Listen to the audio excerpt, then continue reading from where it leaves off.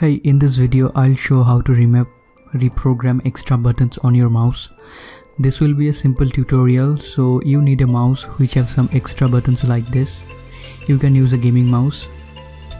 I have this mouse, it has two extra buttons like this and I will remap them. So first download this program. It is X-Mouse Button Control. Go ahead and download it then just run the installer and install it. Now open the app. There is option to add different profiles for different programs to utilize utilize the mouse buttons. Or you can just simply click on the default profile and add and change the mouse buttons functions.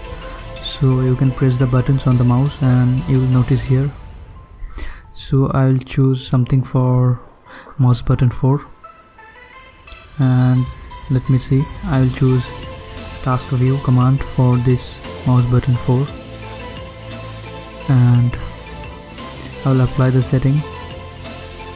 Now I'll press the button and I can see it is bringing up the task view, view task view. So it is working fine. Now I'll choose something else for the other button now I will choose page down. So I will apply it and I will go on Chrome and I'll press the button and it is scrolling down the page. So it is working and I am not even using the mouse scroll scroll wheel. So it is fine working. You can try it. Also make sure to like the video and subscribe to the channel. Thank you for watching